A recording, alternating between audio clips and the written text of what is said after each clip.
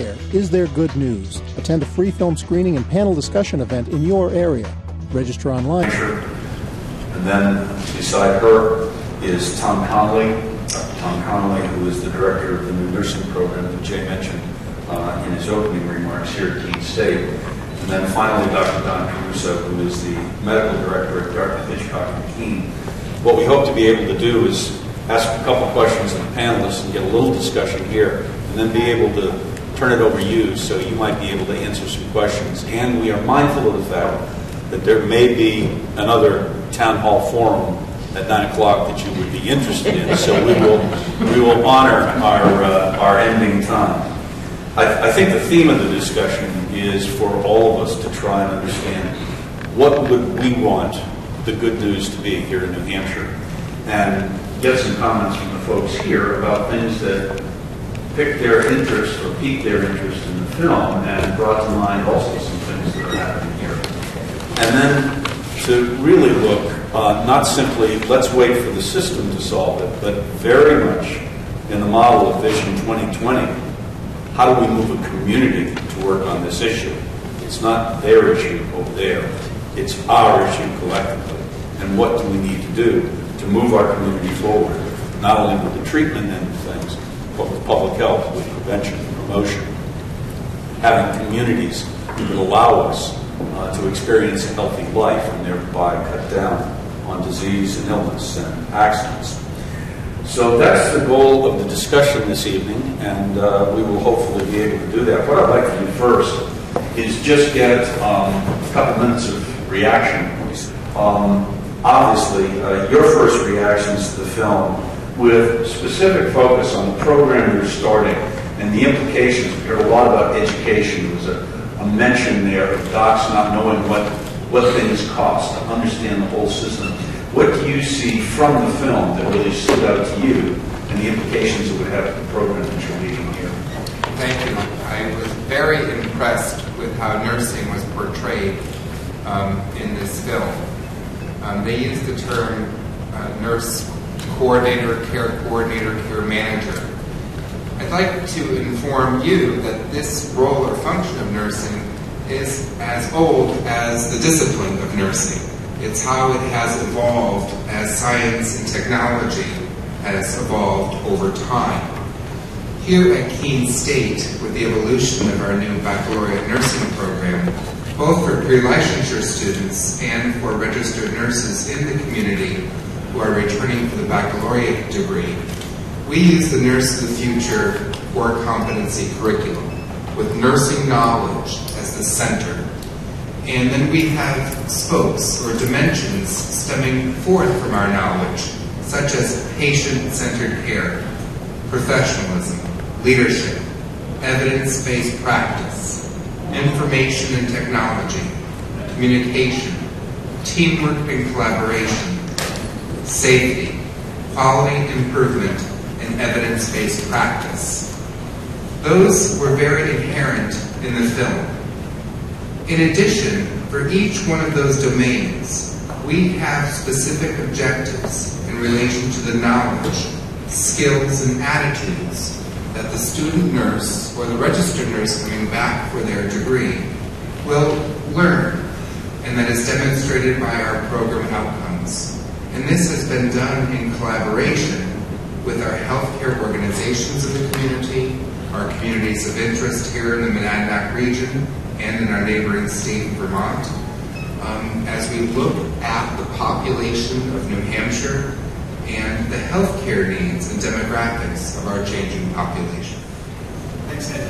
One of the things I'd say, be fully transparent, I'm, I'm a student of Jack Lindbergh Bishop. We've had lots of conversations around this. I'm to pull the mic. And one of the things that um, Thank you. the film brings to mind is some of the controversial discussions that Ellie and I have had over medical home and patients in a medical home. Um, and the fact that we have um, an exemplar medical home here, as, as declared by Robert Wood Johnson in Keene, is kind of an exciting thing. Um, the concept of medical home is not unique in the country, but we're one of the first places within the Dartmouth system to embrace this concept. I've been lucky enough to travel around and actually go to and look at the different clinics there as well, and, and we provide that same level of care we've been doing for a long time. the other pieces that um, we have been providing really in terms of evidence-based care using metrics to have physicians kind of look at how they're doing things are things we've been doing for a while. There, there are some exciting things that we're sort of just starting to do. And, and, one of the things that they were talking about at the end of the discussion really shared decision making. It really has been at Dartmouth product in a sense that Dartmouth really talks about itself in the shared decision making model because Jack Wennberg strongly believes that an educated patient really makes the best decision uh, with the physician's level of expertise being involved at some level, but it's really the, the patient who makes those decisions. We're in the process of bringing a shared decision making to our community. I think it will also start to improve some of the things that we do. We also know, though, because of who we've been connected to Dartmouth, we do have some of the lowest costs in the nation. We actually have that data as part of the Pioneer Accountable Care Organization. And that we think that we can impact it even further. One of the things, and Sherry Holmes is here tonight, one of the things we've done very, very recently is looked at how do we provide hip surgery, how do we use some of the devices, and what kind of devices do we use, and do we need to have all these, these devices as inventory within the hospital? Take strongly physician leadership, put them together, you sit the orthopedic surgeons down, and you say, how many of these devices do you really need to have? Can we go out and then figure out a way to lower the cost to us and the patient as we provide that care? And we've managed to bring down the cost about $400,000 in terms of our annual cost related to total hip just by saying we only need to have two different devices on campus. We don't need to have six or seven. So those are the kinds of things that we're doing and I think there's still more to come. I, I agree with Elliot. There's a lot of low-hanging fruit. There are a lot of things to do, even in a place like New Hampshire, where the cost is some of the lowest in the country. I believe my uh, strongest reaction as I watched the film, and Don, you'll appreciate this, is I was waiting and waiting and waiting for a reference to home care. And uh, fortunately, it being in the home care field, I've developed a very thick skin about that and realized that we're often forgotten in these kinds of conversations, but not in this community. And it is, I think, part of the good news of what's going on in New Hampshire healthcare and in this community because home care fits this model and fits the medical home model fits accountable care organizations so perfectly, helps to improve outcomes. The evidence is there. It decreases readmissions. It involves the patient in care decisions because that's where the patient wants to be. And we help them stay there. And it dramatically decreases costs when compared to readmission to the hospital, visit to the emergency room, or premature entry to long-term care. So I was surprised that it wasn't mentioned, and uh, that's the feedback I would give in the whole conversation. But it's um, it's not daunting because we know it works, and in this community, we know we're real partners. So. I Barbara. Our, our model of care so includes home, so includes home care. That without it, we would fail one of the things we're trying to do in terms of best patient outcomes. And internally within our medical home, we have care coordinators, but they'll touch the patient at the time of admission to the hospital. They'll follow up close to the time or within 24 hours of discharge, but they're also following up with the home health care nurse and the home health care because they're in the home. They're actually seeing what's going on. They're the ones that call up our care coordinator and say, hey, that pill bottle is the wrong dose or it's the wrong medication or they have two of the same medications at home. What are we doing? So the partnership is critical for our success and, together we can we provide a much better outcome for patients. Well, the changes here with the advent of the medical home and the accountable care organization have really I think, brought the integration of hospital care, the transition to home care, even closer. Uh, we began two or three years ago with the uh, trying to work together to decrease readmission, and we did it. And uh, we have, I think, the best, the lowest readmission uh, to hospital rate in the state.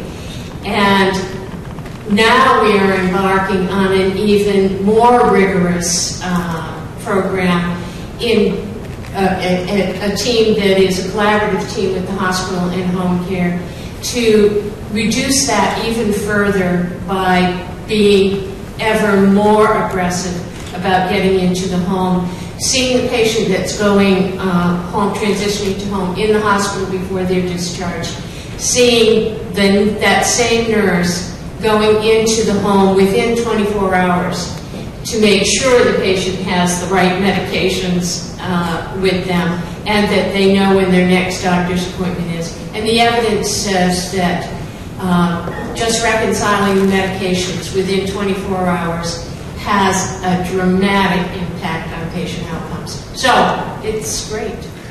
Um, the answer to that question is yes. Um, That was a leading question. Right.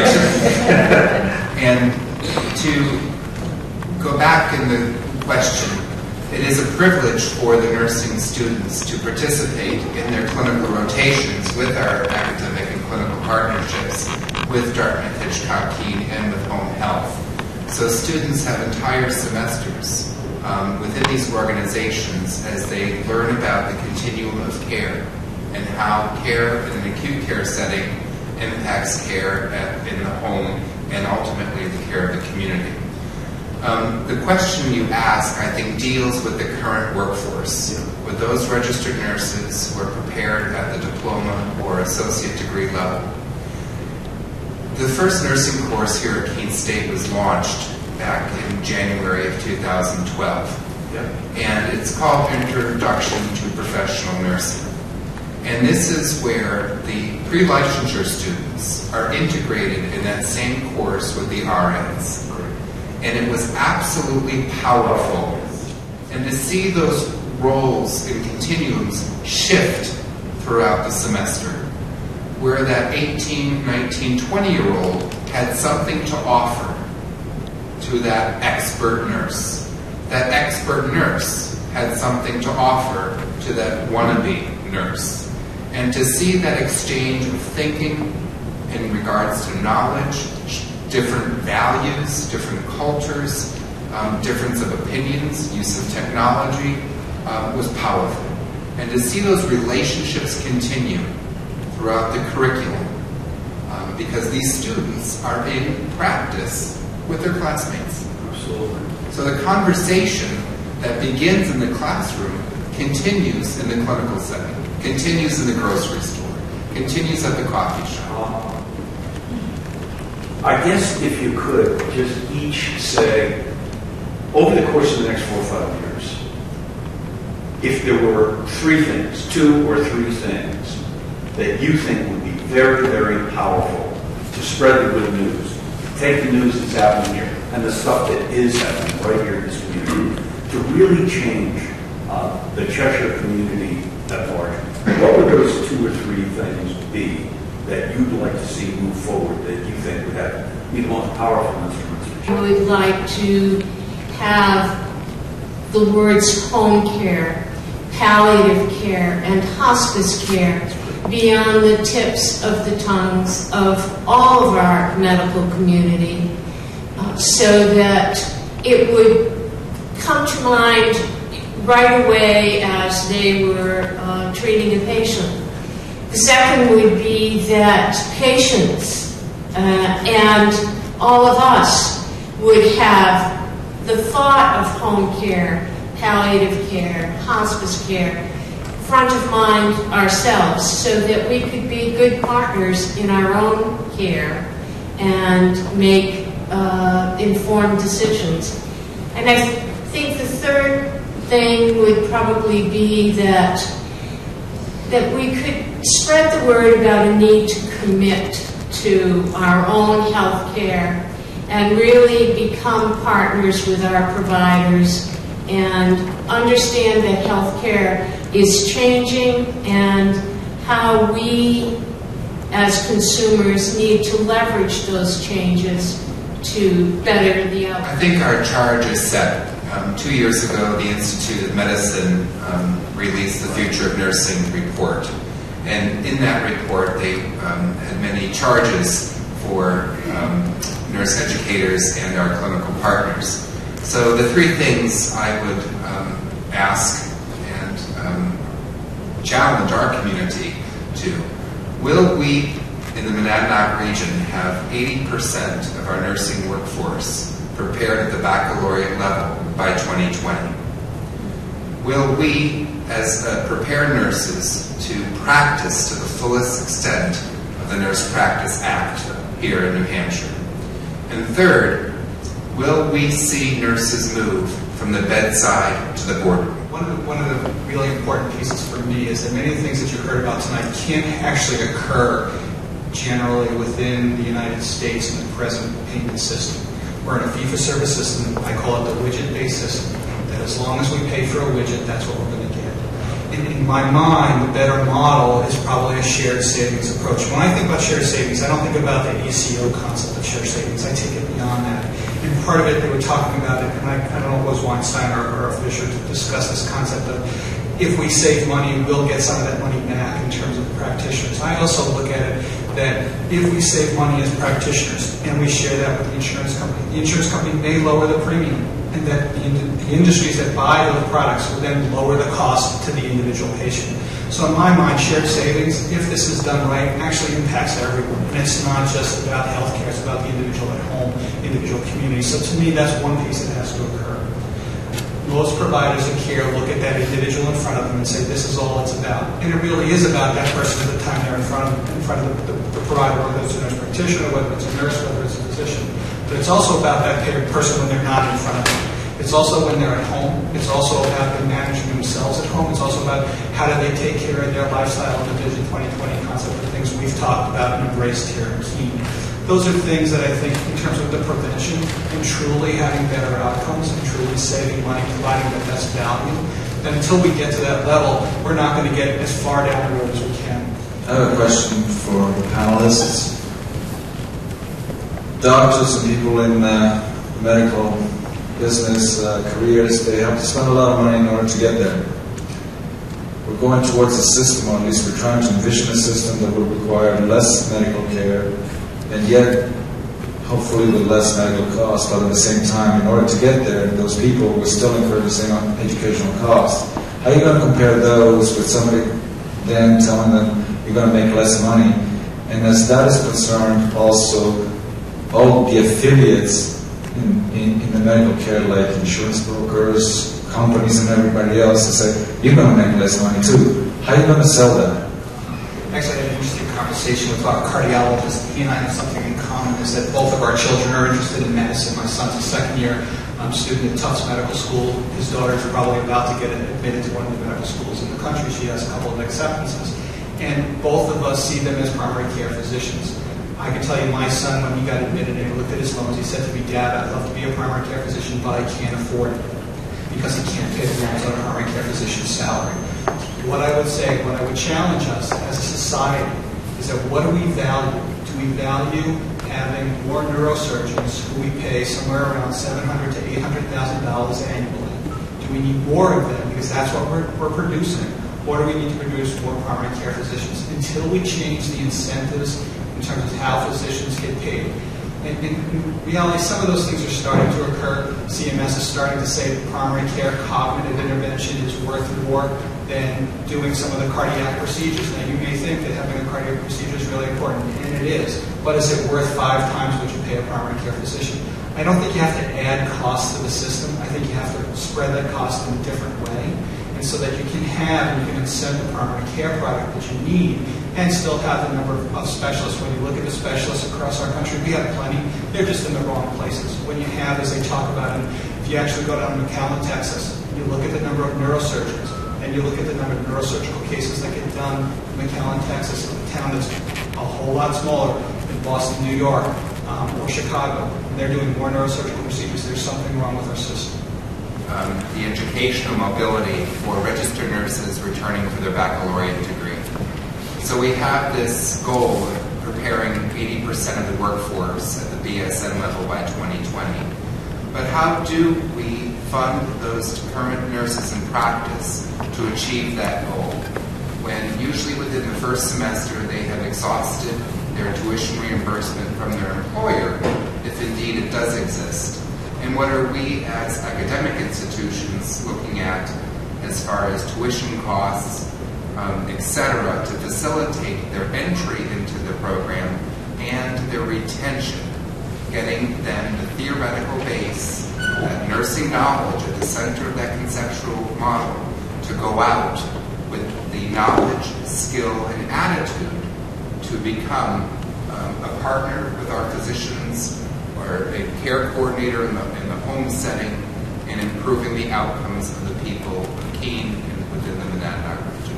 It's a challenge. Um, I'm a long-term care provider Jaffrey, New Hampshire at Good Shepherd, and I actually collaborate with Tom and Barb and Don on various um, collaborations and initiatives that have really reduced the cost of medical care for long-term care. Um, one of the things that we've been involved with with the area hospitals is reduction in readmissions to the hospitals. We've been very successful with that, as well as other uh, uh, long-term care providers in New Hampshire.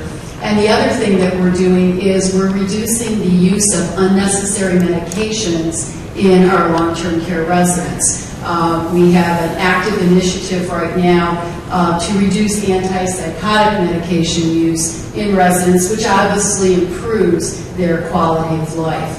And we also are focusing more on wellness. When you think of wellness, a lot of times we think of younger populations, but we forget that people that are in our nursing homes can also experience wellness in a variety of ways. So a lot of our initiatives are now focused on that, and we're actually a champion organization for Vision 2020. So sometimes when you think of long-term care as the elephant in the room, uh, I like to think of ourselves as the peacock.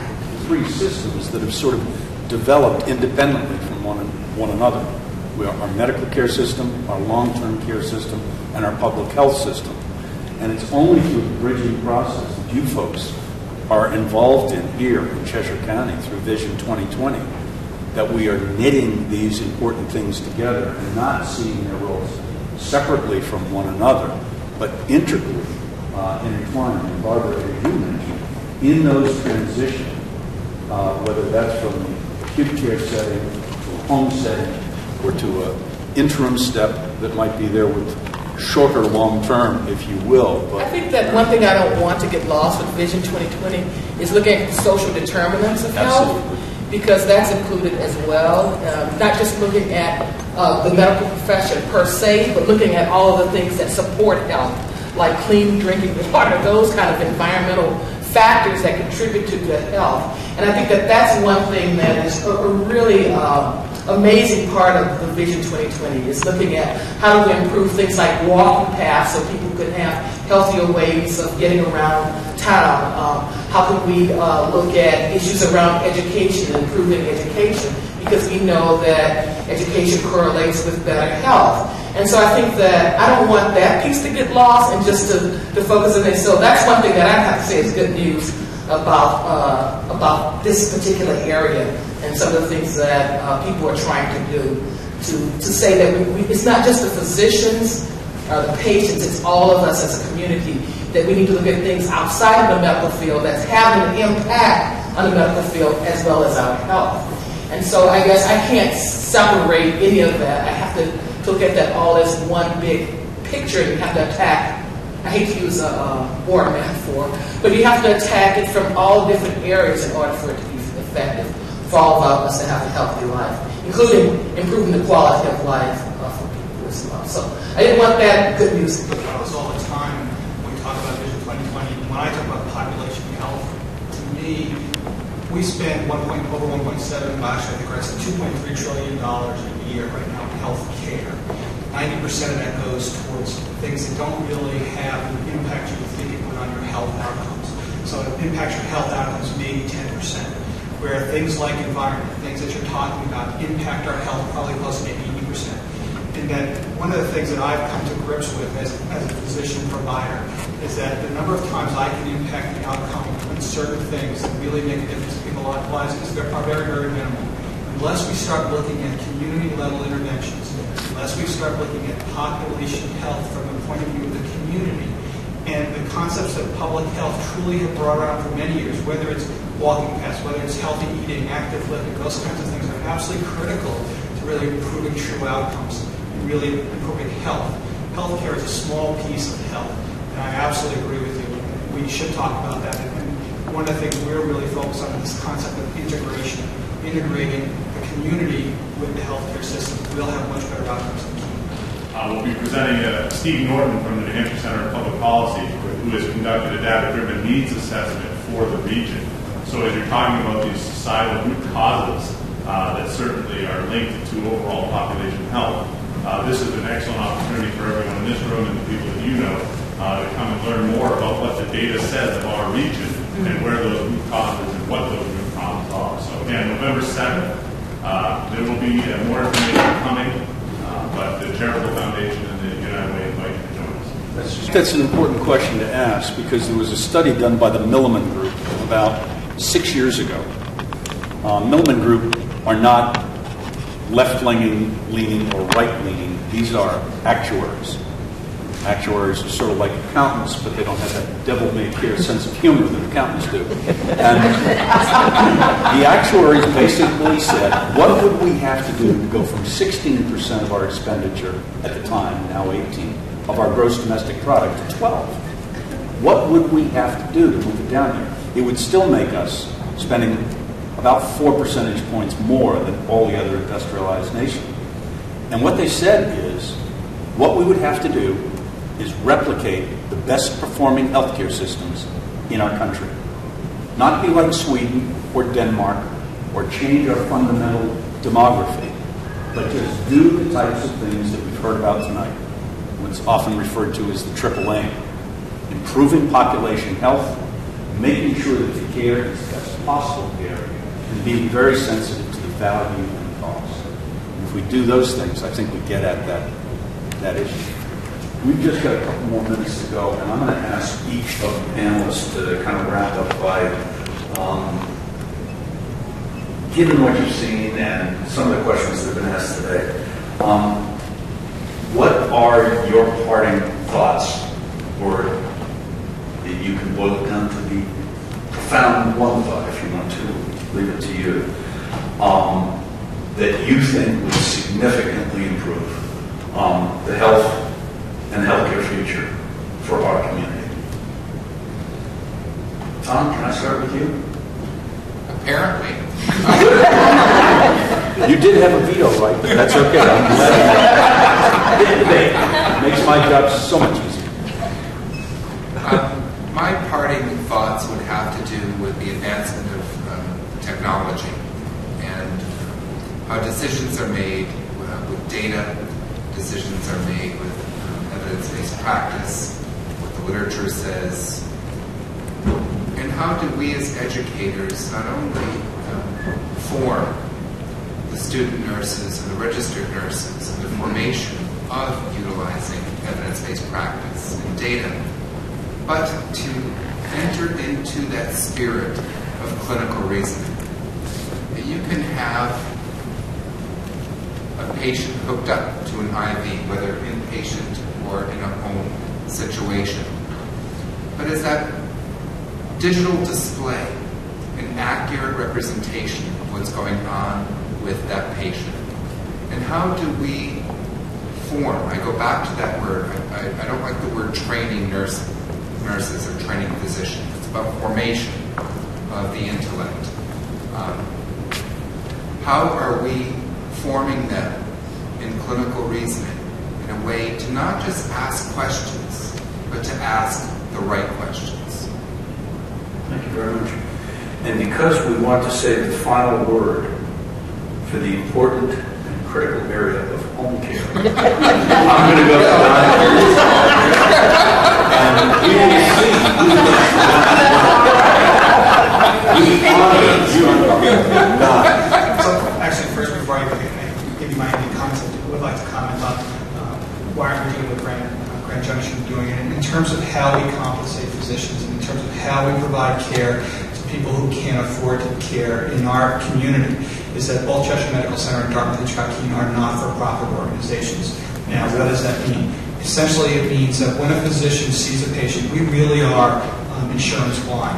As a physician, I don't know if someone has Medicaid, Medicare, or or Anthem, Harvard Pilgrim, whatever. And that really our goal is to take care of everyone, no matter how they can they can afford the care. We have lots of programs to take care of people. Unfortunately, it's not real well known that we're not we're not going to turn anybody away. I'm part of, I have, I'm one of those people that I have insurance, but I have a crazy high deductible. It's Yeah. like five thousand dollars. So in my case, I never get health and stuff like that because I have insurance. And those become the decisions we make as individuals, but that still doesn't mean that we would turn you away. So that you would make that as an, as an individual saying, I don't need care for that. Or in some cases, from our perspective, if you have a primary care physician, you call up, we're not going to charge you over the phone for the care. We want to talk to you. We want to take care of you, even if you're not in the office. So that's fundamentally who we are. So I, those, it's a really great, great question. I think there's more to do because we managed to cost shift, and there are a lot of other issues around that. But I'm going to just leave it there because I would like to get to Ned's question. And, you know, when I look at where we are in Keene today and, where we are as a country, and that as a country we have a long way to go. As a community, we've come a very, very long way. And to me, it's actually very exciting to be part of our community, to be able to do the things we do because of this partnership that we have with training, with our home health care, between our medical center and our physicians, being able to say we're really about the community. And our goal really is to take care of people just like they do in whether it's Spokane or whether you're in Grand, Grand Junction, our goal are to do those kinds of things. And we have the opportunity to do that. So I am optimistic. Despite the pessimism that's out there, we're about as well situated as any community to get an optimal health care, meaning not just low cost and low value. It really is the best value, high quality, low cost. Thank you, Tom. Barbara? Yeah, uh, my comments are very similar to yours, Don, in that I, I really see the glass half full. I think that it's an exciting time in healthcare, scary for patients, uh, scary for providers, scary for employers, employees, but I think in this community anyway, we are way out in front. I think we have the commitment of our partners, and we have, I think, the, the commitment of providers to, because if you, if you take the thrust of what legislators and the federal government is, is doing, yes, they're all about containing costs, but there is some wisdom in what is going on. And, and as that wisdom is manifested in demanding better outcomes, demanding coordination, demanding comprehensive care. Those aren't bad things. And that's what we're about. And I, I think we're in a great position in this community in particular because I think we're all in. all, all of you uh, for coming this evening and taking time out to both see the film and for your questions that you asked this evening. Also, our panel, thank you so much for your thoughts and observation and your caring about shaping this, this new health and healthcare system. And of course, the whole group from New Hampshire uh, Public TV and their staff with um, Roger Pruitt and Don DeAngelis and uh, also their creative service team, which we appreciate. Dottie Morris, and then, of course, our host this evening, Keene State College, and also Cheshire Medical Center uh, for their support, and also the other two supporters of this effort to bring these conversations out to the communities, the New Hampshire Citizens Initiative, the New Hampshire Citizens Health Initiative, and also very, very importantly, the Endowment for Health. So thank you very much for this evening, for your attendance. Don't forget November 7th, and if you race to the cars, you'll get to hear Candy Crowley call the next meeting to order. Thank you all very much. Attend a free film screening and panel discussion event in your area. Register online at nhptv.org.